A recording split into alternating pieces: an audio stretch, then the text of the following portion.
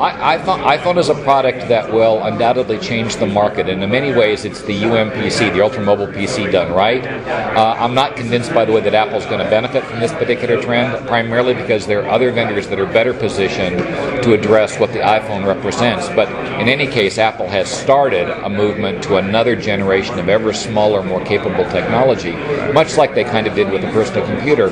The question now is, will they be able to ride this particular wave any better than they rode the last one? Right. It is a closed system. Yeah, the iPhone is closed, um, and some big differences between the iPhone and what happened with the iPod. With the iPod, Apple came to market with a unique device against two relatively small competitors, Creative Labs and S3 at the time.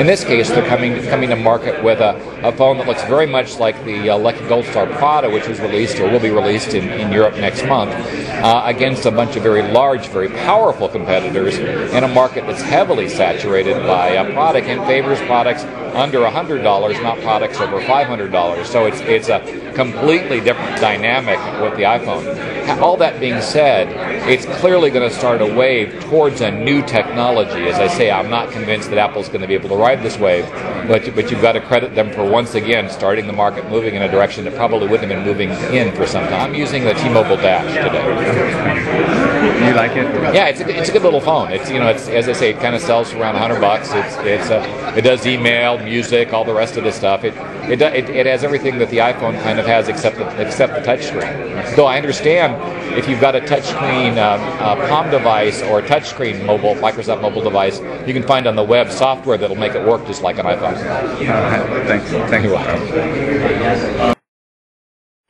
Gervais Restaurant, authentic French cuisine in Silicon Valley.